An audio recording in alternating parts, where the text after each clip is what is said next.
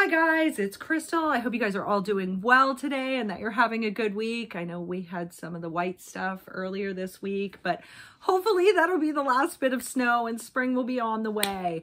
Um, if you're new to my channel, guys, like I said, my name is Crystal and I do Canadian true crime or true crime with a Canadian twist.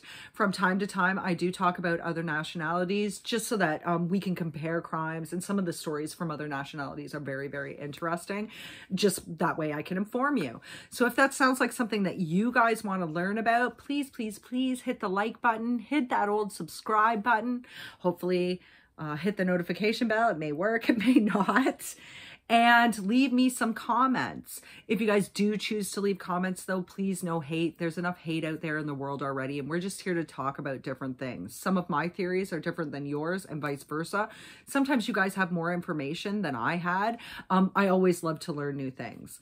If you guys are returning subscribers, you guys already know how much I love you and how thankful I am that you guys choose to let me come into your living rooms.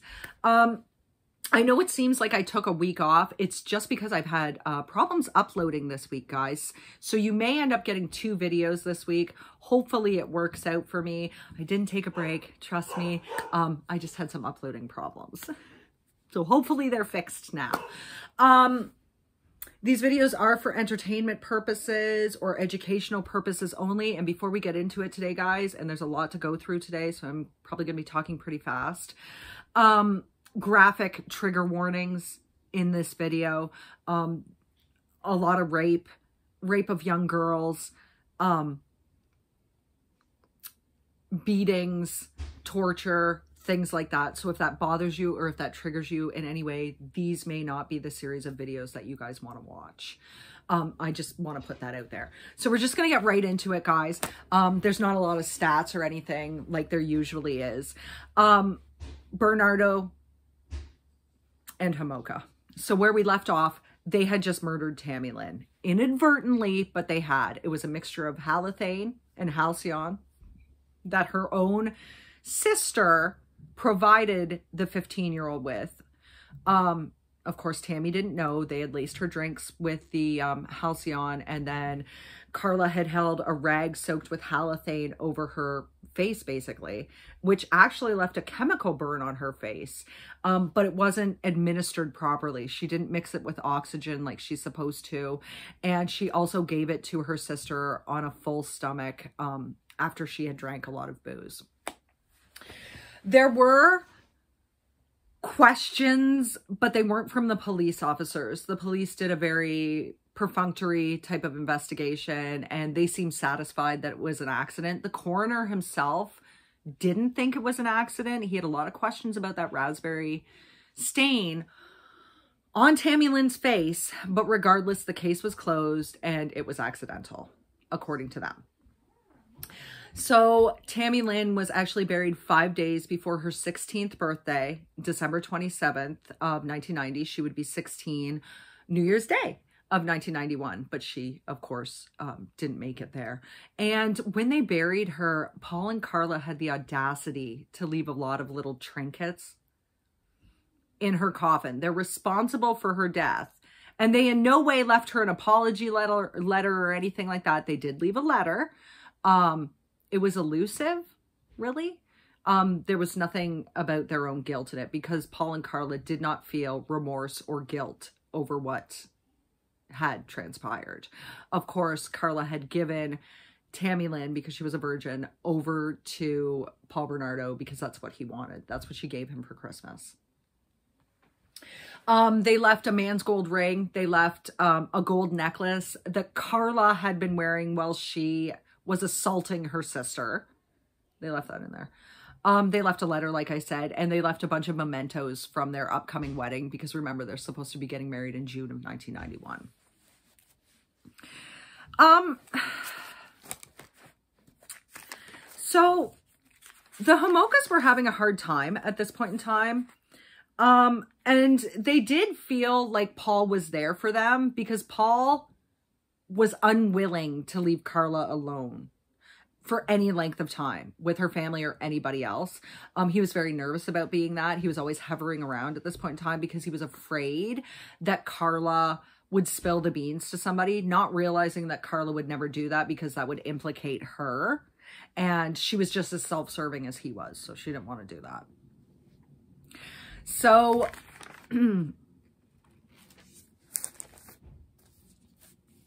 sorry guys, I'm sorry. This is hard to believe. So they killed Tammy Lynn the night of December, sorry, the early morning hours of December 24th, 1990. And by January 12th, they decided that they wanted to drug and rape another girl. Um, Carl and Dorothy Homolka were going to a lighting show at this point in time for his business.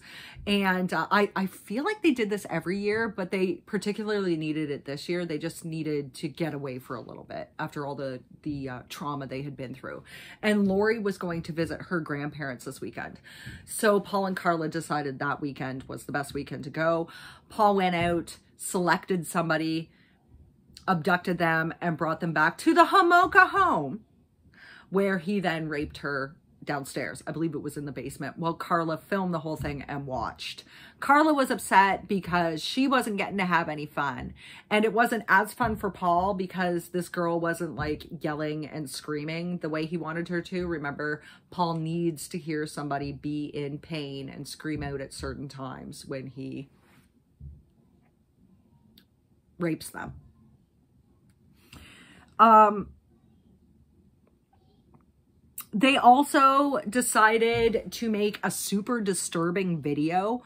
I think it was actually more than one video uh, this weekend, which featured Carly, Karla as Tammy Lynn. This was technically her idea.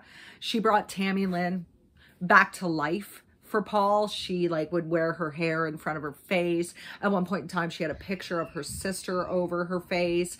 She played the role of Tammy Lynn. She dressed like Tammy Lynn. They did this in Tammy's bedroom and they talked about the whole thing about how like he loved her and uh, Karla as Tammy Lynn kept saying like how much she loved it when he broke her hymen and things of that nature. They enacted the whole thing. At one point in time, Karla took a rose and stroked his like nether regions with it and said that they were then going to put it on Tammy Tammy Lynn's grave the next day because it had touched intimate parts of Paul. Um, she also alluded to the fact that they should kidnap more girls.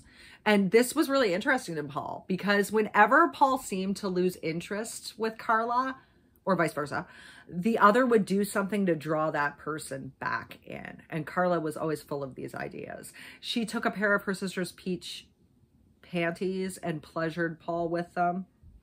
Um, she lied to the cops and said that didn't happen, even though it did, and they had it on videotape. Um, she enacted as, like, she made herself become her sister she she told him that they should uh, kidnap at least 50 sex slaves.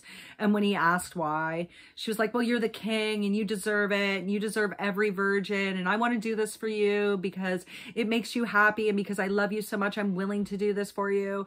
Um, they figured that or she said 13 would be the best age to select these girls because they were more likely to be virgins then. They actually put this on tape Now, the Homolkas had been appreciative of Paul, but at this point in time, they wanted to grieve more as a family together. And Dorothy and Lori were particularly vocal about this. They wanted Paul to not be around so much. They kind of felt like he was an interloper part of the family, but not part of the core family, so to speak.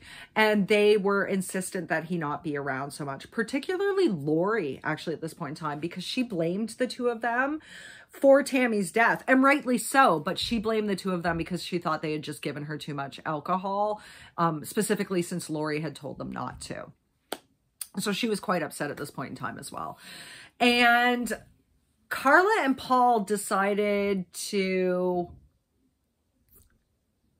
rectify their situation by moving out on their own. Because if Paul couldn't stay with Karla, then Karla would go with Paul. And of course, obviously the Bernardo house was out was out of was out of the realm of where they could stay because Paul was pretty much estranged from his parents at this point in time. They there was no way they were going to be staying there. Besides, it was dirty and disgusting and everything too. So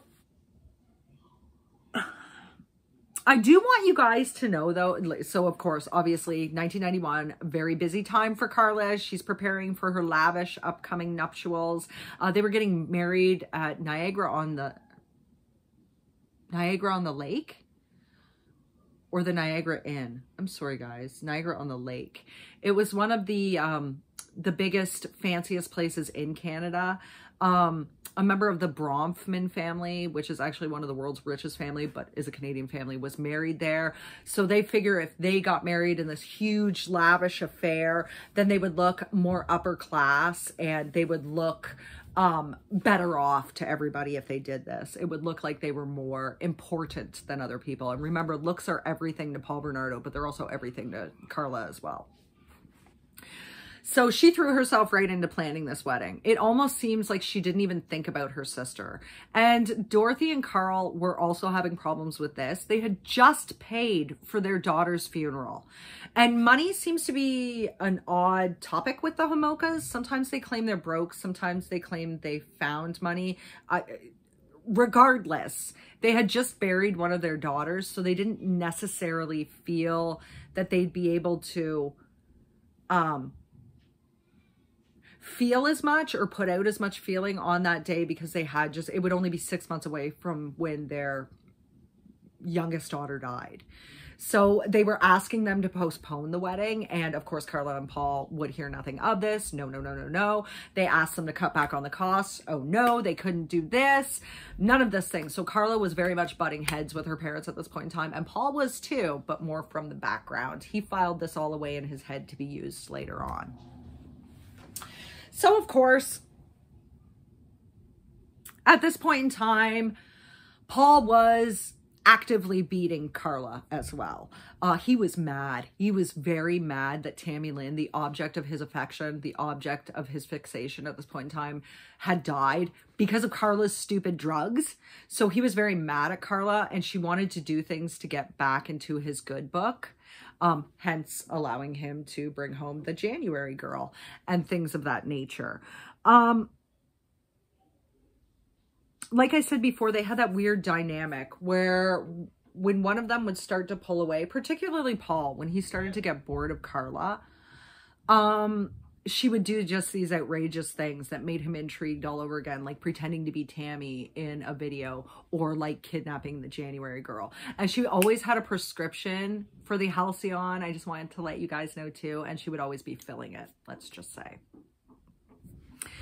So their their solution to the problem of having to have a place to live at was to go out and rent a place together. Ostensibly, it made sense because the two of them were going to be married soon anyway. Um, they managed to rent a place um, 57 Bayview Drive, of course, which was in Port Dalhousie. Now, Port Dalhousie is actually a suburb of St. Catharines, guys. It's about 10 minutes away from the, the center of St. Catharines. Um, it's got, uh, it's well-known claim to fame is that it's home to a lot of waterfront districts, like a, um, uh, I'm really having problems today. A lot of waterfront homes, and that particularly appealed to Paul. He wanted a home on the water. Um, for Karla, it had everything. It was modern, it was updated, it was, you know, in beiges and taupes and whites and creams. It was sophisticated. It was a pink clapboard house. It was a couple stories. There was a basement. It was everything the two had ever dreamt of. So they signed the lease for it. Now, the homeowners only checked Karla's credit at this point in time. Oddly enough, Karla was only working, you know, she was working full time, but only for, you know, regular salary. It was minimum wage at this point in time. Um, she might have been working full time, but it was for minimum wage. At the Martindale Animal Clinic, she was still working there. And Paul himself was unemployed. Remember, uh, he had quit his job at uh, Goldfarb um, and Patel and Company. Um, he'd quit his job there. He, I think his unemployment had run out by this point in time. And uh, his main source of income was smuggling cigarettes. True, it was very lucrative for him. He was making a lot of money, but they never checked into Paul at all. They only checked into Karla. Everything came up roses. Everything looked good. So they rented the house to them. And on uh, January 30th of 1991, the couple moved in 257 Bayview Drive.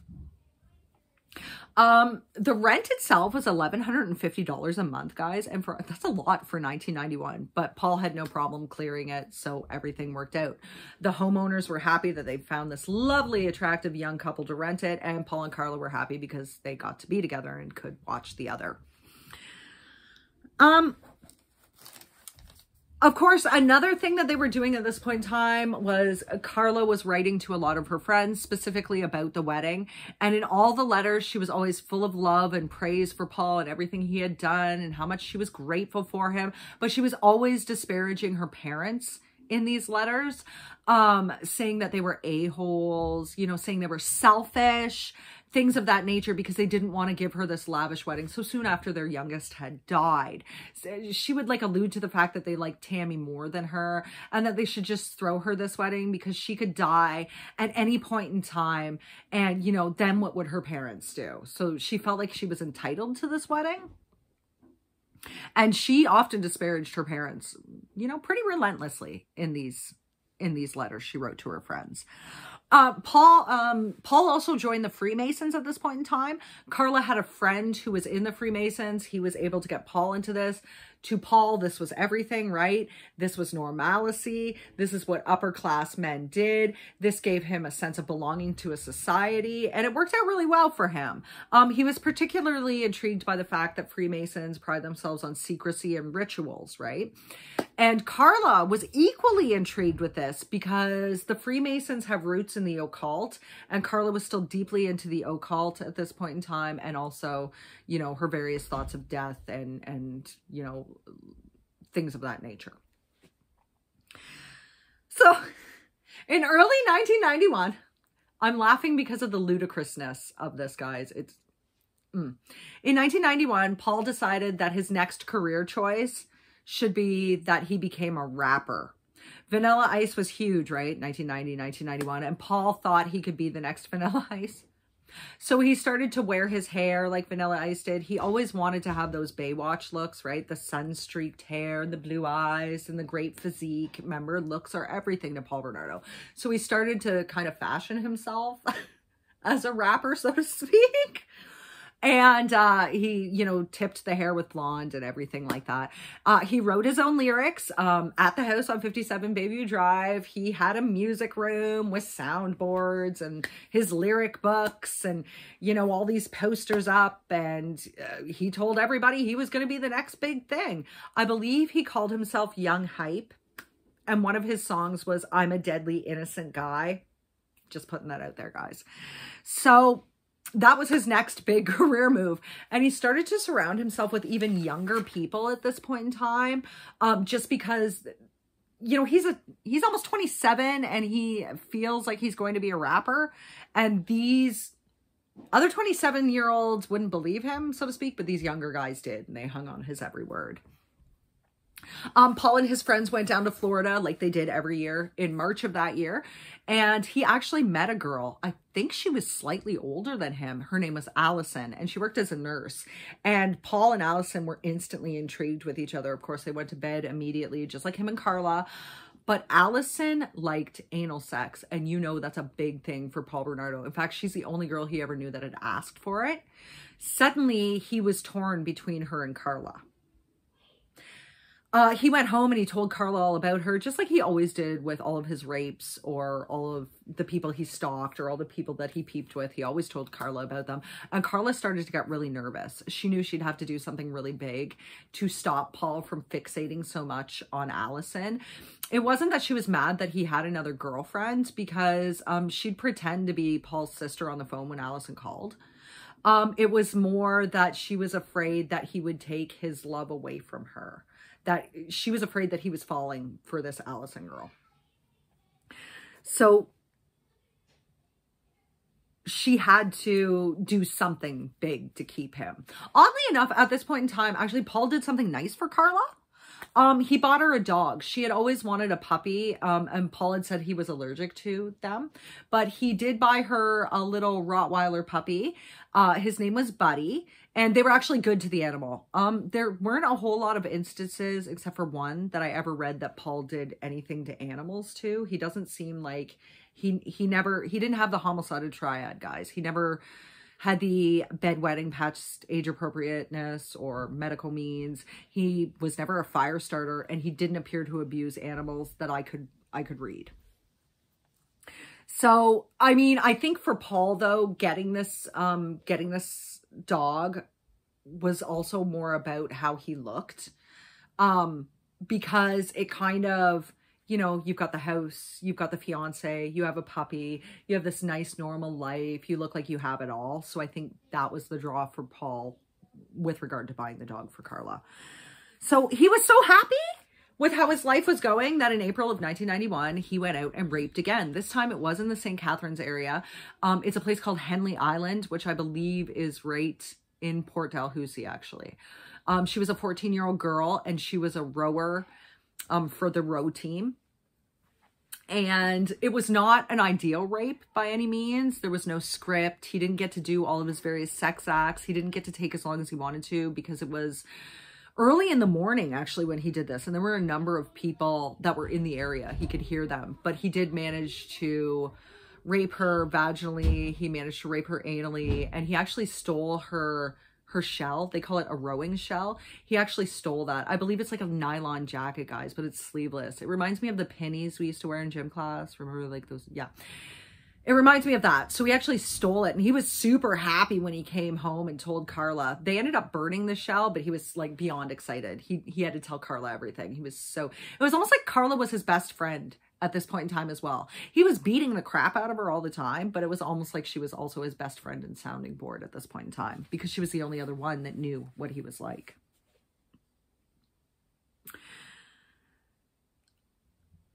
Now, Karla was still writing her notes to Paul um, she sent him a bevy, but a lot of these notes alluded to the fact that they were fighting a lot, particularly about the fact that Tammy Lynn had died, um, and that Paul was really upset with that.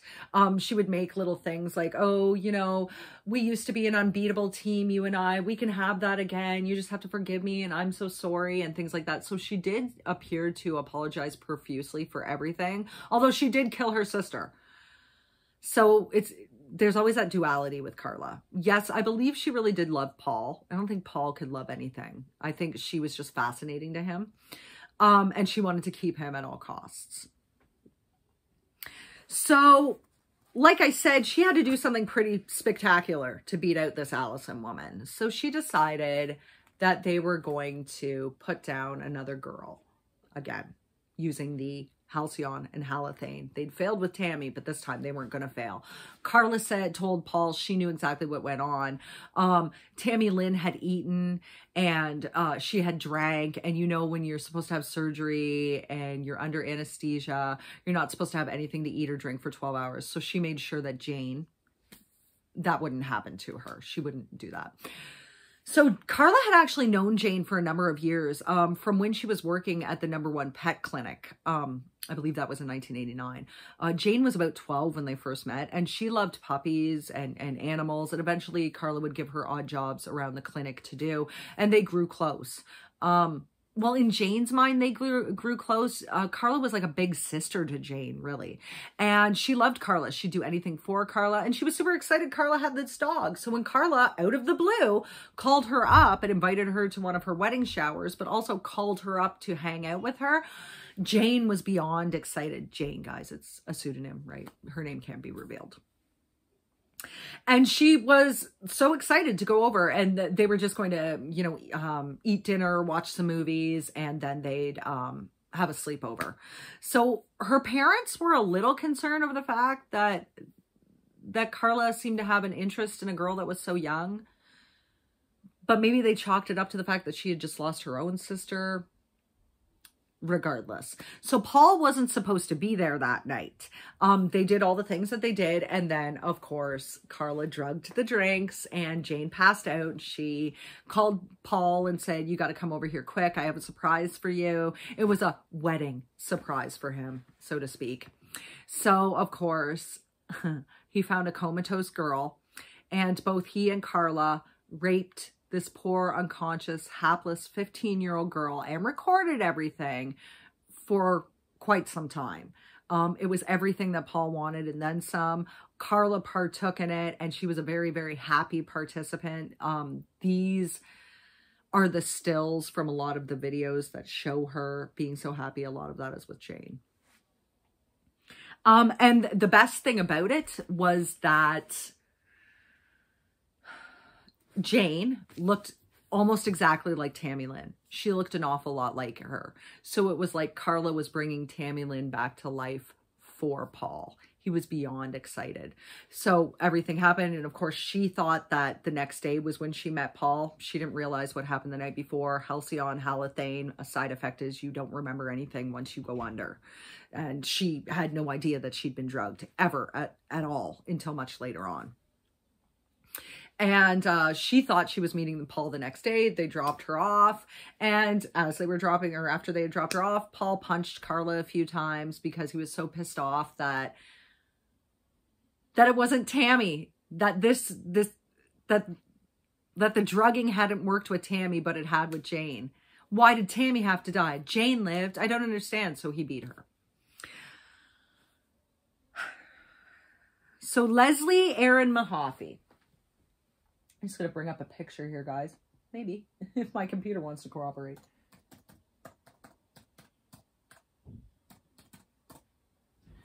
So this is the best picture I can find of her. I really hope, guys, that it's not too uh, too grainy. So that's Leslie Mahaffy. Leslie Erin Mahaffy was born July 1st of 1976. She was actually a miracle baby um, for her parents, uh, Deborah and Dan Mahaffy uh, sorry, Mahaffy. Um, Deborah had been diagnosed with ovarian cancer and was getting treatments for it when she became pregnant for Leslie and as she was carrying Leslie. And the doctors told her about the risks, about how it could be dangerous for her, um, that the baby could be born with deformities or not be born at all. So they suggested she abort Leslie, but Deborah wouldn't hear anything of it. And she carried Leslie to term, and Leslie was born a perfectly happy, healthy baby. Um, she was a delight to her parents. Um, I know she has a younger brother named Ryan. He was born quite a few years after her. And the family loved each other and cared a lot about each other. In fact, Leslie was particularly devoted to her brother Ryan. She loved him very much. But Leslie at this point in time was 14 years old. She was about a couple weeks from from being 15 you know she she was starting to rebel guys um she'd been having problems in school particularly since she'd been skipping a lot her grades were not very good um, she had been, she had shoplifted. She'd been arrested for that. Um, she had also run away a couple times. Um, she was just bristling at the rules. And they were just normal rules about curfew and about going to bed at this point in time and about being in school, you know, every day. And she was just rebelling. That was all. It was normal teenage rebellion, guys. She had run away for a couple, uh, twice. And the one time she had stayed away for about 10 days.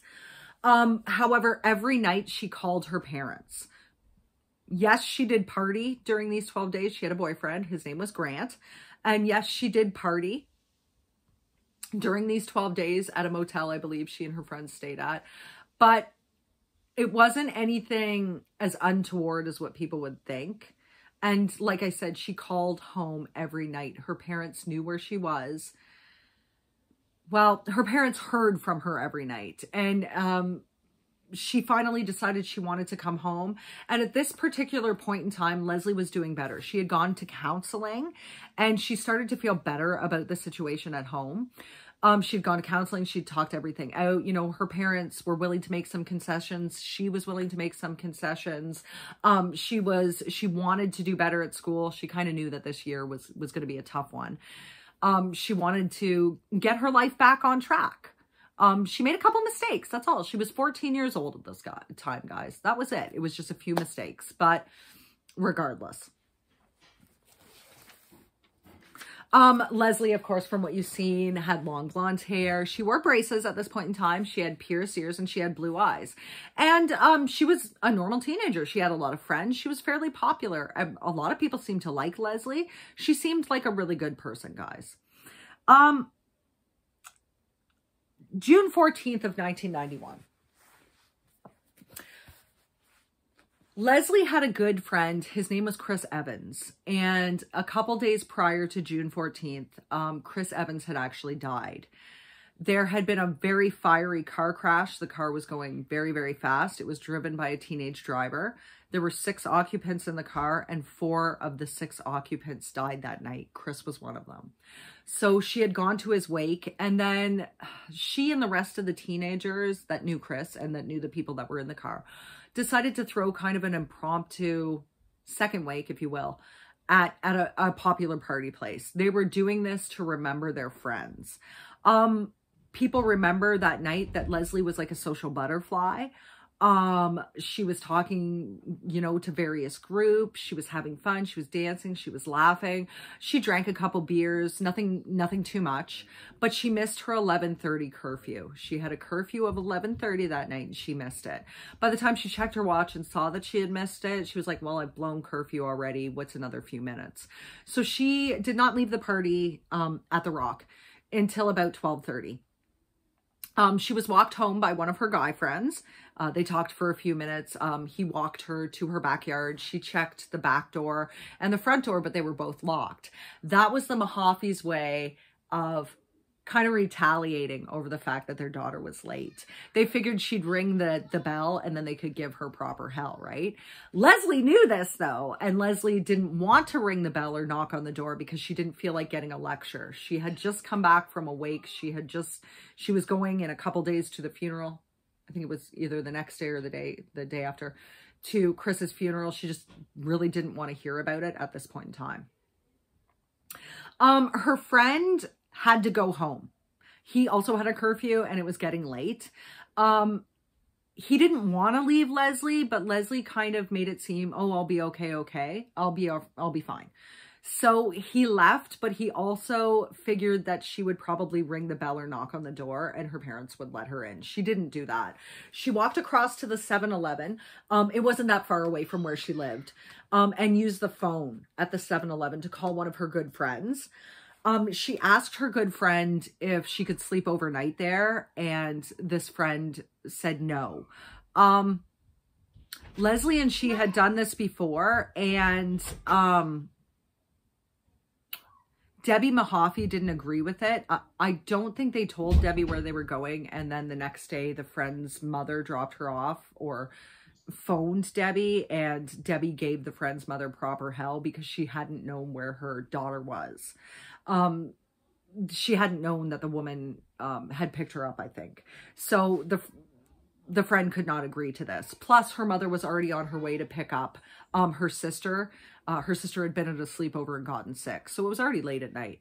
Um, the two of them talked for an hour, about half an hour, maybe a little bit longer. It was about 2 a.m. when they hung up. Leslie walked back to her backyard. She sat on the picnic table and she was having a cigarette when out of nowhere a stranger appeared. Um, she didn't seem particularly nervous about him being there or anxious. She just asked him what he was doing there. And the stranger replied that he was casing the neighborhood for places to rob from. Um, he said that Leslie replied, cool. Um, she asked him for a cigarette and he led her to his car. She was blowing the smoke out the window. He told her to bring her legs back in because he had a knife present and he kidnapped her. Of course, we know that the stranger was Paul Bernardo. He was actually in Burlington. That is where Leslie Mahaffy is from, is from Burlington. I don't think I mentioned that before, which is about half an hour away from Port Dalhousie. And he was in Burlington because he was stealing license plates. Um, of course, because he's smuggling all the time. He's making multiple trips through the border. And Border Patrol will take video uh, and snap pictures of your license plates as you come to and from Canada. If they think you're going, you're going over to war, um, if they think you're going over too often, or if you seem suspicious at all, or if they figure you haven't declared everything at customs, they'll run your plates and then they can get your address that way and contact you that way. If Paul used stolen plates, the plates could never be traced back to him. They would only ever go to the original owners. So that's why he stole plates. And he would just affix these plates across, you know, on so that nobody figured that the car was untoward. And that's what he had been doing in Burlington that night. Leslie's kidnapping was a crime of opportunity. He went through this backyard. 14 year old girl happens to be there. She's pretty. I'm going to take her. And that's what he did. Um, she wasn't, uh, he also handed her a blindfold. I believe it was like a shirt of his, um, that she tied around his eyes. So there is some indication that he meant to let her go or that that he maybe wasn't immediately thinking of killing her. Um, I mean, she had already seen his face, but he did demand that she blindfold herself. And of course, he's beyond excited. He's going back home and he's got his slave and he's just so excited. When he got home, he did wake up Karla. He did tell her um, that they had company and she did know what was going on. And he basically said, you know, I'll call you when it's your turn. And she just went about her business. Um, of course, we know, guys, we know exactly what happened to Leslie for the most part.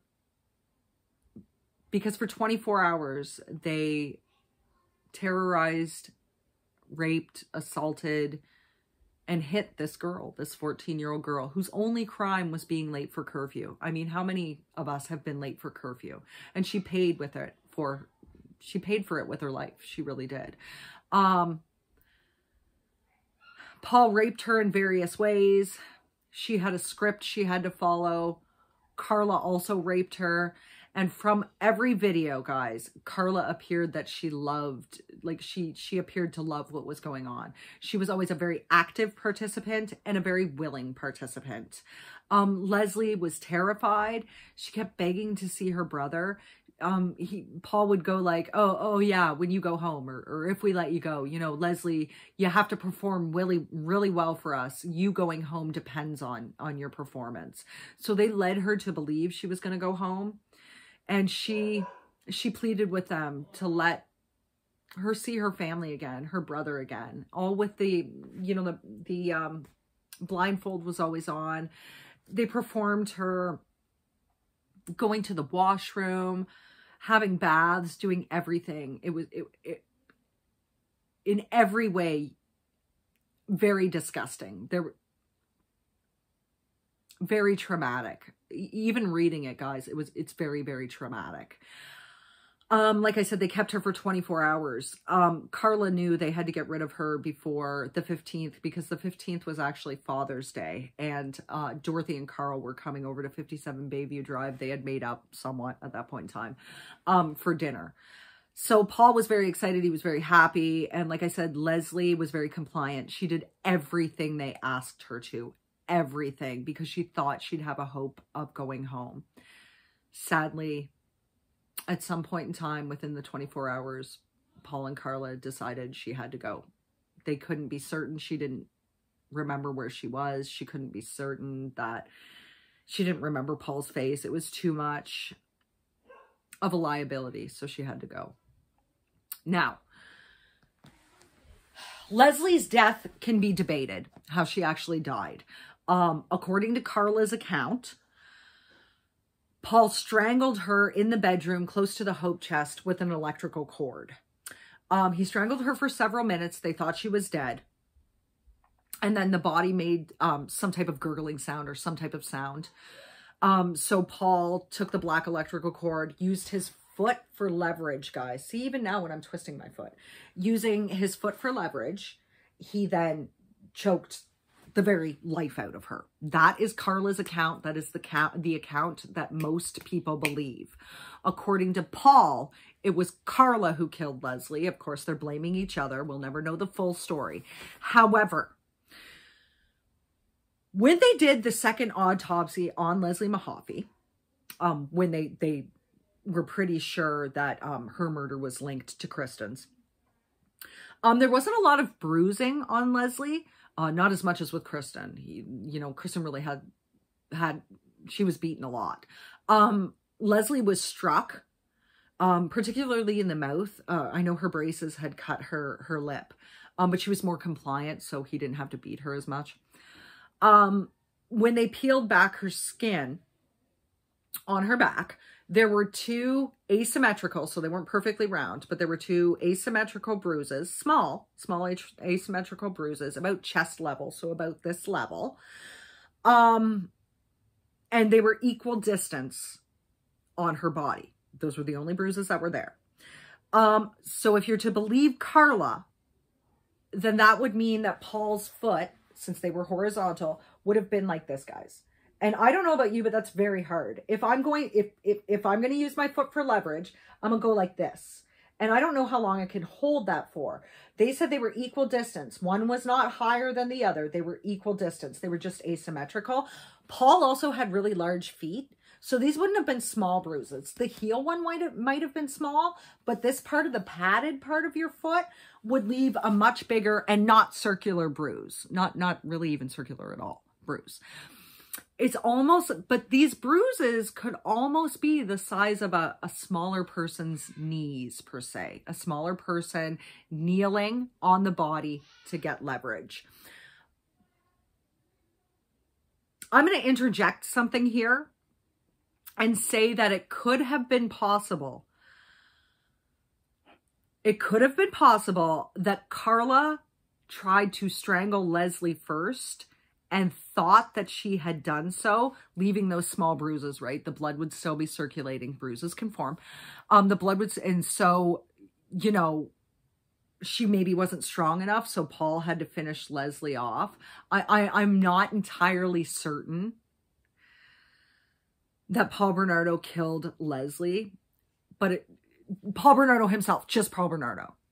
I'm not entirely uncertain that Karla didn't have some part in it. But I'm leaving that out there. That's up for you guys to decide. So, of course, on the 15th, Carl and, and uh, oh gosh, I forgot her name for a second. Carl and Dorothy show up back at the house.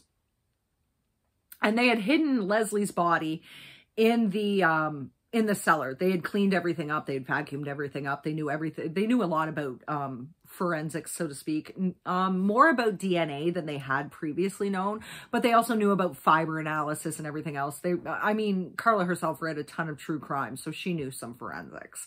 So they cleaned everything up. Um, there was only one odd part in the night. Um, they were acting very normally there was only one odd part in the night when uh, Dorothy said um, that they, when they realized they didn't have enough potatoes and Dorothy said, oh, I'll go downstairs to the cellar to get them. Obviously that's where they kept them. And Karla was like, no, no, mom, I'll do it. I'll do it. And she went down and got them because of course Leslie's body's there. If they had let Dorothy go down there, cover would have been blown.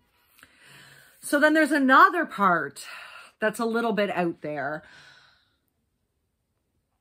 the day after, the Monday, Karla says she went to work, and it, does appear that she went to work. And that when she was at work and she knew what was going to happen, um, Paul erected like a plastic tent and dismembered Leslie's body. He cut her into 10 pieces. Um, and then he encased her in blocks of cement, eight blocks of cement. He used um, two of them, he doubled up the body parts for. Um, these were not poured particularly well, but that is how he figured he could get rid of even more possible fingerprints or DNA. It would be um, absorbed within the concrete in his in his point of view.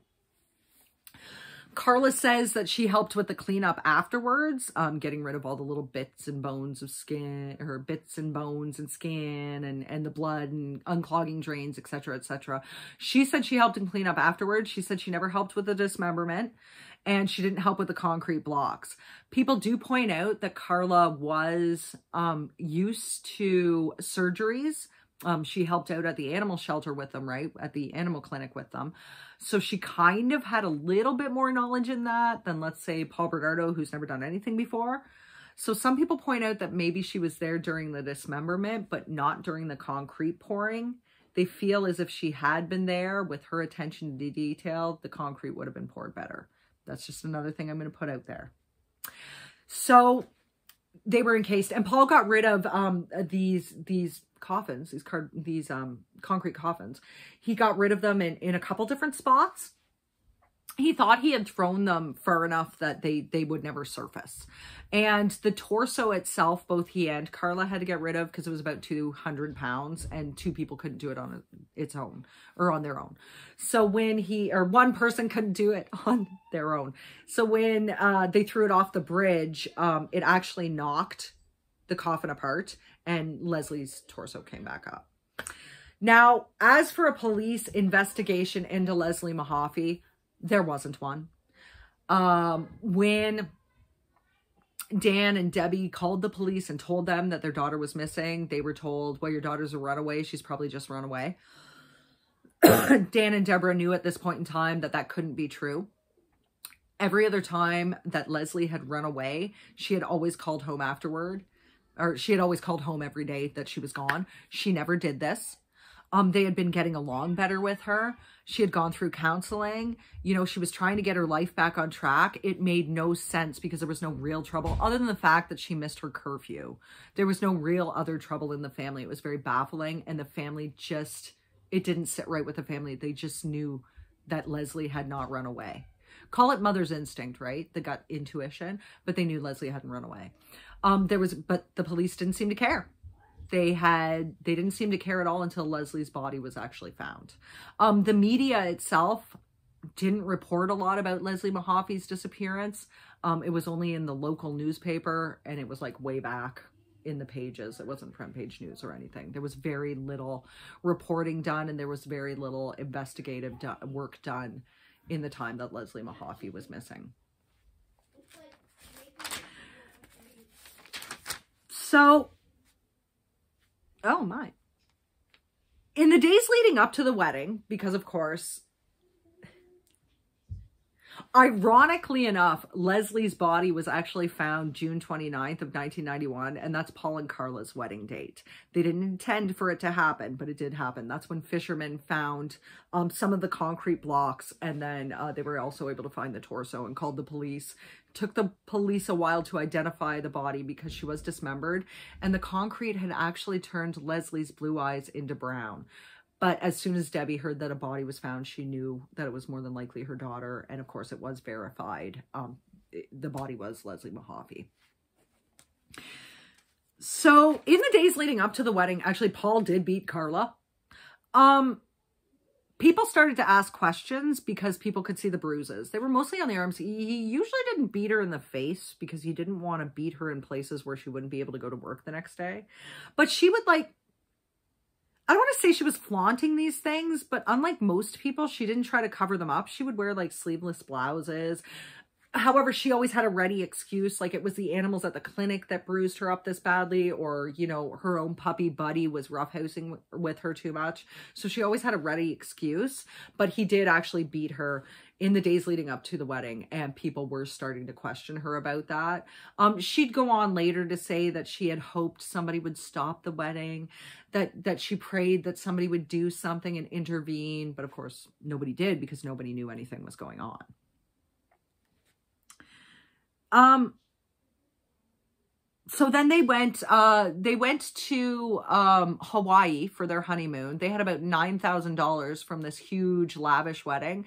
The reason they had so much money guys is they invited everybody they had ever met to this wedding in the hopes of getting a bunch of money and that's exactly what happened. Wedding went off a hit without a hitch. They got married. Some people say that that Karla just didn't look happy at the wedding. Other people say that she did, so it depends on who believes whom at this point in time. But the wedding went off without a hitch. Uh, they went on their honeymoon in Hawaii. They made many videos of it. You could actually hear Paul um, swearing at her in some of them, and he did beat her while they were on the Hawaii trip. A lot of the stuff Karla thought was boring. Um, she did make this lovely soliloquy to her husband during a sunset while he was in the shower about how much she loved him. Um, but regardless, when they got back, one of the souvenirs Paul brought, brought back with him was a newspaper clipping. It was just one from a paper in Maui. And it was all about how a woman was dragged off of a road and raped in Maui. It's a very odd souvenir to bring back. Um, it wasn't the whole entire newspaper, so it wasn't like he was bringing back a newspaper from um, from the U.S. It was just this one article. I'm also just putting that out there. Is it possible that Paul raped somebody while they were in Maui? It's possible. So on July 22nd of 1991, this is just shortly after they got home from there, um, honeymoon. Paul and Karla made a police report. They called police. Police came to the house. Um, and the couple claimed that their house had been broken into and that $30,000 worth of items were missing. Police were like, oh, we can believe Paul Bernardo. He's an accountant, so he should know the monetary worth of things. Luckily for Paul and Karla, though, Paul had taken out extra home insurance, home and content insurance just before they went on their honeymoon, just before they got married. So, you know, he could be able to recoup his losses. Uh, in August of 1991, Paul and Karla decided to put Jane down again. They they were escalating, guys. They needed more entertainment. They needed more kinkier sex in order to keep um, excited with each other in order to keep enamored with each other. This was actually a very big part of their lives. Um, they were enmeshed with this. They were intertwined with this. They had so many secrets at this point in time that they were they were bound. They were pretty bound to each other. Um, and this was one of their things. They were escalating, but they needed more excitement. They needed more thrill in order to feel that. So they decided to put Jane down under again. And this time things didn't go as, as they should have. Um, Karla didn't get the mixture right, again, like she had with Tammy, and Jane actually did stop breathing during some of the assaults. Um, they had to call 911, but uh, they were able to get her breathing again, so Karla just hung up. 911 never called them back, and uh, no ambulance ever showed up, so nothing nothing was really untoward in the minds of everybody else. Uh, Paul and Karla felt that they had dodged a bullet and, and Jane was okay. She was comatose for most of the night, but she was able to get up in the morning. it was around this point in time that Jane started to come to her senses about what Paul and Karla were really like.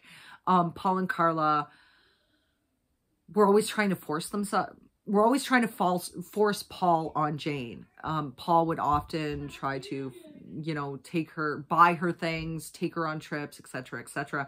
Jane would always, or sorry, Karla would always be telling Jane um, that Paul would be the best part of his life, that Paul would do anything, you know, he'd be a really great guy for her. She was like pushing Paul towards Jane. Paul's what, 27 years old at this point in time? Jane is 15.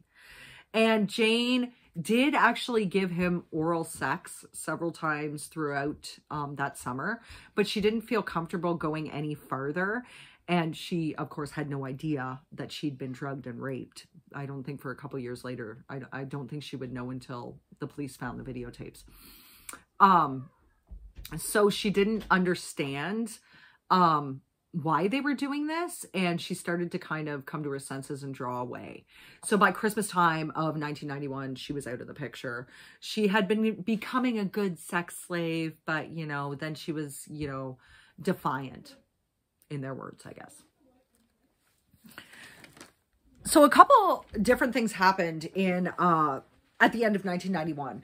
Uh, first of all, in December of 91, Debbie Bernardo, which is Paul's older sister, decided to file charges against Ken Bernardo for the molestation of both her and her daughter. Um, he had started molesting her four-year-old daughter. Um, Marilyn, her uh, Paul's mother, and David, Paul's brother, tried to talk her out of it, saying no good would come of it. Um, but she decided she cared too much about her kids and she went ahead with filing the charges. Um, Paul then raped his friend Van's girlfriend's friend. I'm sorry, I know that's a lot without me using names. Um, this would be Van Smirnis, had a girlfriend, and this was one of her friends. They brought this friend to 57 Bayview Drive. Karla was home at this point in time. It was during a Christmas party, and Paul raped her in a bathroom at that point in time. Uh, they also, so as for the investigation, of course, when they knew that Leslie Mahaffy was dead. So in regards to the investigation for that, police had a prime suspect. His name was John Peter Stark. Uh, John Peter Stark had actually been in prison for, at one point in time, for stabbing a hitchhiker he picked up in the 70s, a female hitchhiker he picked up in the 70s. And he was a suspect in the, the murder of his daughter's best friend. He also had a weird quirk where he used to like his wife to dress up as a schoolgirl go out to a desolate road or go out to a desolate place, pretend she was hitchhiking. He'd come along, pick her up, gave a false name. They'd drive to some, you know, industrial, like abandoned industrial area, and he would have violent sex with her. It was consensual, but he would have violent sex with her. Um, so police were watching him and they thought he was good for the murder of Leslie Mahaffy at this point in time. They were really trying to tie the two of them together, particularly because they were they knew he killed Julie Staunton. They were just ready for him. They, they just needed for him to make a confession or to get a little bit more information. So they were tailing him at this point in time. He was a murderer, but he wasn't their murderer. Um, Paul's DNA was actually one of the five samples resubmitted for further testing in the Scarborough rapes. Um, and this would be in April of 1992. Um, Paul's name was also actually stricken from, sorry guys, the Institute of Chartered Accountants. I want to say it right. Uh, that month as well. He hadn't paid his dues in forever. Uh, and he didn't really care because now he was going to be a rapper. He didn't need the accountancy program anymore. Uh, in April of 1992, Paul and Karla decided that they needed another thrill. They needed another excitement. They needed more excitement in their lives. They were getting a little bored. They needed another sex slave. And Paul said that this time Karla could pick her out. They decided that this would happen over Easter weekend of 1992. And April 16th of 1992 was a Thursday. So they went out on the hunt. Kristen Dawn French was 15 years old at that point in time. Uh, her birthday is actually May 10th of 1976, so she was only a couple weeks short of being 16. Uh, she had a long list of gifts that she wanted to talk about with her loyal boyfriend, Elton Wade. Um, the two had been dating for a while. Um, they were inseparable. They were very, very close. Um, Kristen was actually the fifth of the five French children. Uh, her parents' names were Doug and Donna French. Doug was a little bit older than Donna, and he'd had a, a, previous first marriage. He had had a previous marriage, and he had children from that marriage. Uh, so they would be um, Kristen's uh, half brothers and sisters. And I believe he and Donna had two children. So it would be Darren and Kristen. Uh, by now, the older children had already moved. The only children at home were Darren and Kristen. And Kristen was called Christy by her family and friends. Um, Kristen was about five foot five. She had luxurious long brown hair that she uh, took very good care of, and it had been previously dyed, uh, or sorry, it had been previously curled she had just gotten a perm. It was big back then, guys. We did that. Well, they did that. I was, yeah, never mind. Uh, and she had uh, dark brown eyes. Uh, she had an infectious smile. Um, she was, one of her legs was actually shorter than the other one, guys. Um, and she had back problems because of it, because of they weren't equal. Um, so she actually wore shoes with um, a shoe, uh, specially made shoes, and one of them had an up, uplift in it so that she would be um, equal in height. Um, she had been an avid rower for the row team, as well as an avid figure skater, but she'd kind of had to curtail those activities in the past few months um, due to the back pain. Uh, she was experiencing more of it at this point in time. Kristen was a super smart girl. She was very intelligent. She was a straight A student. She was an honor roll student. Um, she had a lot of friends. She was bubbly. She was genuinely a nice person. Nobody had anything bad to say about Kristen Dawn French. She was just a very genuinely good person. Um, on top of that, she was always very, she was also very responsible and routined. The most particular part of her routine was that every day she arrived home from school at the exact same time to let the family dog Sasha out of um, her pen so that she could be exercised and, and, and walked around and everything else. She loved the family dog. She was very, very, very routined with that. I just want you guys to know that. Christy was the kind of daughter and friend that everybody wished they'd had, guys. So I'm just going to show you a picture. Just one second.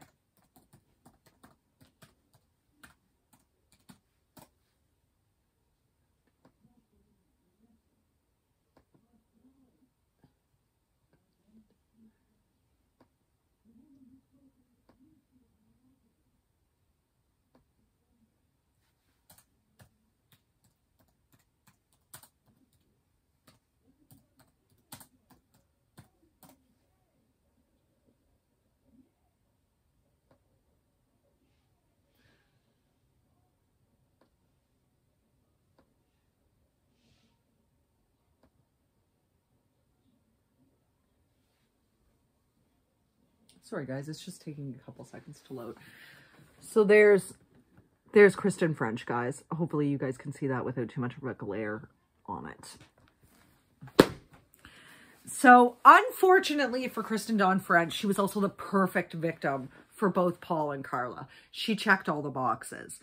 So Paul and Karla decided they were going to drive around and, and do what they could to lure someone in. So this is right in St. Catharines, actually. There's a church there called the Grace Lutheran Church. It was quite close to Kristen's school, um, which was Holy Cross. She went to a Catholic school. And um, Paul, of course, pulled in with his, I'm not sure if I mentioned this, but he was now driving a 1989 gold Nissan 240 SX. Um, he'd gotten rid of the white Capri some point in time earlier, um, because it was kind of linked to the Scarborough rapes. He kind of had to. So this is a gold Nissan 240 SX. Um, he pulled into the Grace Lutheran parking lot. Ostensibly, he and Karla were going to tell whichever schoolgirl at this point in time, it happened to be Kristen, um, that they were kidnapping, that they were lost. Um, they figured it would be better if Chris, if uh, Karla got out of the car because um, a girl would be more willing to help out another woman. And um, she had a map. Now, this map was actually a map of Scarborough, and she was just going to get Kristen to point out someplace. She was going to ask where Pen Centre was. It was a big shopping mall. And she didn't realize she'd grabbed the wrong map, but it didn't really matter. So um, she pulled out the map. Kristen came over, and Paul then quickly got out of his car and went around and had the knife. There was a bit of a struggle in which the map was torn they cut off a lock of Kristen's hair by accident with the knife, and she also lost one of her shoes. There was a woman who kind of witnessed it, but not really. She didn't actually witness the actual abduction. She just saw the three of them together, and she was the one that was able to describe the car to the police. She said that she thought the car looked like a Camaro. It had headlights like a Camaro did, um, an older model Camaro. And at this point in time, police jumped on the fact well, the fact that it was a Camaro. They deeply believed it was a Camaro. Um, this would lead to a number of missteps later on. But the woman never said it was a Camaro. She said it only looked like a Camaro. So, of course, they dragged Karla in. Uh, Karla, or, uh, sorry, they dragged Kristen in. Karla was supposed to cover her up with a blanket. That never happened. Um, but they were able to get her back home to Port Dalhousie. And, of course, Paul was too excited at this point in time because this was his perfect victim. Paul was too excited to beat Karla. Uh, for three days, Paul and Karla beat, tortured, and raped Kristen French in every way they possibly could on camera. Um, Paul would beat her for being defiant. She was not as compliant as Leslie Mahaffy was, so he would often beat her. She she did have a lot of bruises. Um, she would say no, or she wouldn't say the scripted things that he wanted her to, or she wouldn't say them fast enough. So Pete, Paul did beat her. It's well known. It was all recorded. It was all on the videotapes. Um, since Kristen wouldn't always follow the script, he would often beat her into submission. Um, despite this, though, Paul was extremely happy with her. He loved having her around. He really liked having Kristen French around. As disgusting as it sounds, he was very, very happy with his acquisition. And he wanted to keep her for a while. Karla was aware of this and she was jealous. She was jealous because this girl was more youthful she had long dark hair like Paul's uh, first girlfriend that he had been very much enamored with. Um, she was jealous. But she wouldn't say so. So on the first night, um, they had Karla's chicken. The second night, uh, Kristen wanted to see what would happen. So she asked her kidnappers for McDonald's um, pizza. That was a big thing in 1992. It's kind of gross, but it was a big thing. It was okay. It was like pizza and french fries. But anyway, she asked for that. And she knew it would take about half an hour for him to get there. So she figured she was buying herself some time. Like I said, Kristen was a very smart girl. She figured if she was left alone with Karla, um, she didn't know Karla's name at that point in time, but she figured if she was left alone with her second captor, um, maybe she could persuade her to let her go. And she did. She did try. Paul left Karla with a rubber mallet and said, you know, if she tries to escape, because um, Kristen French was a good three, four inches taller than Karla. um, she figured, he said, you know, if anything, she tries to do anything, just hit her with this. So, um, she did try to persuade Karla. She said, you know, um, we can run away from here. I know he beats you. You know, we can leave here. We can go somewhere else. No one will ever have to know you're involved. It doesn't matter anyway. He makes you do this, you know. But Karla, of course, wouldn't budge. If Paul was in it, she was in it. And she, it was, it was too, she was in survival mode at this point in time, according to her. She was just too into herself. She could not let this happen.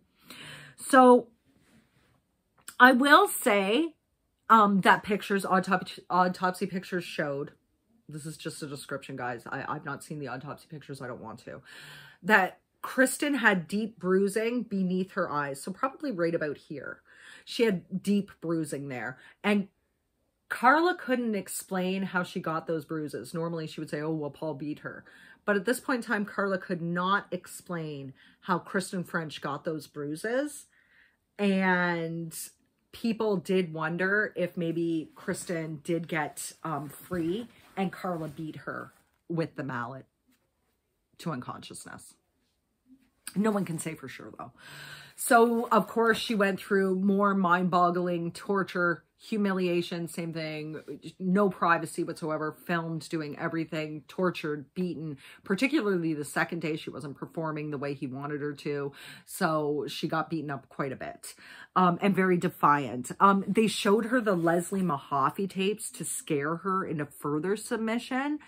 And um, she was still very defiant though. She still was very defiant to Paul Bernardo and his demands, even telling him, quote, some things are worth dying for, end quote.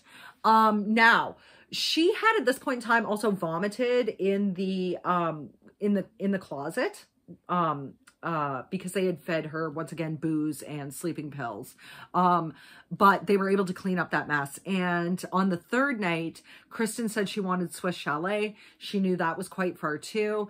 Um, there's there's a possibility that on the third night she tried to escape and Karla beat her to death there's a huge possibility of that. She was making Paul happy and Paul always said he wanted to keep her for a while. It was Karla that said, no, no, no, no, no. We have to get rid of her, particularly before we have Easter, right? It was Easter weekend, particularly before we go over to my parents' house for Easter. If we don't get rid of her, then, you know, she could try to escape. And Paul said, well, why don't you just cancel? At your parents' house to just tell them we're sick? And she's like, no, no, no, no, no. We have to go because that provides us with a perfect alibi just in case we need it. So part of me, actually a huge part of me believes that Karla Homolka is actually the one that killed Kristen French. Paul seemed too happy with her and he wanted to keep her for quite a bit longer. But regardless, according to Karla, well, we know that on that last night, see, Kristen had called him a bastard, and that's the one name you don't call Paul Bernardo, right? He had very serious issues with that word because he technically was one. His father and mother weren't married, and, and he never knew his father. So he shoved a wine bottle up her. He actually had Karla shove a wine bottle up her rectum, and when she wasn't shoving far enough, he did it himself. He then removed it and raped her again anally and vaginally and then according to Karla, he um he wrapped the electrical cord around her and he um killed her that way. He he he um he strangled her. I don't know if there's evidence of strangulation in the autopsy. Um, we'll get into that in, in a little bit. Um, with Leslie Mahaffy, of course, they couldn't tell if she was strangled or not because um, her neck was cut. So they weren't totally sure. Um, she did have indications of not being strangled or there there were some of the indications of strangulation weren't there but it could have been due to the dismemberment. Um so like i said paul wanted to continue the fun fest. Karla didn't. Regardless they did do away with kristen french and uh, then they went to to family dinner at karla's parents home. Um the two of them cleaned up the whole entire scene um, they burned her clothes. Uh, they burned uh, her backpack, all of those type of things. They actually cut all of her hair off because they had some indication that there could be traces of their house because she had that really long, luxurious hair. Um, so they cut off all of her hair. They bathed her body. Um, they made sure to clean out all of the DNA and everything else like that. And then they drove her body into Burlington, guys, and abandoned it on a side road called Number One Side Road, which was very close to the cemetery that Leslie Mahaffy was interred at. Um, she wasn't found for a little bit, though. She was found by a, a, a scrap iron collector. I think about two weeks after after she had gone missing. And of course, immediately investigators knew that Kristen French was not a runaway, so immediately they were out looking for her. And because they had that one woman come forward that say, "Oh, I saw Kristen with these two strangers," so police were pretty sure there were at least two people invo- involved. They thought they were two laborers, though, two young laborers. They were pretty sure two people were involved, and they were pretty, they were certain, according to them, that the car they were looking for was an old beige Camaro. The woman said the headlights looked like a Camaro. It looked like one. She didn't say it was one, but they took that tip and they were off and running. Of course, um, I do also want you guys to know that Kristen's last recorded words were, quote, I don't know how your wife can stand you cuz, end quote. She was very defiant. She, she, yeah. Sorry, guys. So Police were still on the were on the hunt at this point in time for this older model beige Camaro. Bernardo himself was feeling pretty cocky, guys, because he didn't drive a Camaro, so it didn't really matter. Although this was despite the fact that he was still a suspect in the Scarborough rapes, he was still a suspect in that. Two women had reported his actual car and license plate to the police for him stalking them. And several of his friends had said that he was a Scarborough rapist. They came forth forward with tips. Um, a lot of people who knew Paul Bernardo said he looked like the Scarborough rapist, and several of his friends had also gone to the police and told them about his deviant sexual ways, uh, the way he treated women and the way he treated Karla. Um, and also about other untoward things he had done with girls. But the police, Paul Bernardo was still not on their radar. radar. Um, and of course, the ladies that made the reports on him, they were never followed up with, not at all.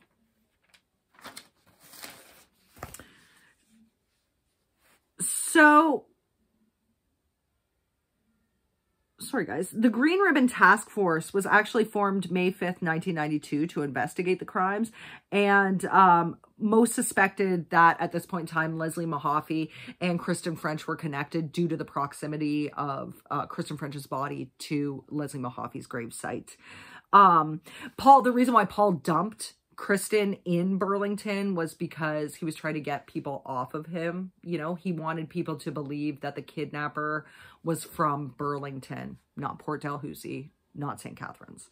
So police actually came to 57 Bayview Drive in May of 1992. They had received a tip from a person who knew Paul and knew about how he treated women, knew about um, the abuse that he put on Karla and other girlfriends and that he had raped the girl at the party. So it it was either Van or his it was Van.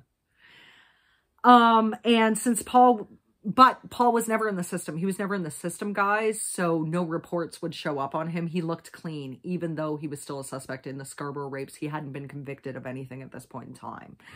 Um, and I mean, they had numerous tips on him, numerous tips on him from everything from stalking to abuse to um, money to everything. They um, to to even just looking like the Scarborough rapes.